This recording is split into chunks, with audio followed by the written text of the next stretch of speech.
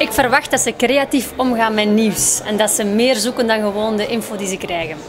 Dat ze dus echt de waakhond zijn trouwens van de democratie. En gebeurt dat genoeg naar uw mening? Of? Ze hebben er vermoedelijk te weinig tijd voor nu. Ik denk niet dat het aan de journalisten zelf ligt, maar de media. Ze hebben minder volk, dus het moet allemaal sneller gaan.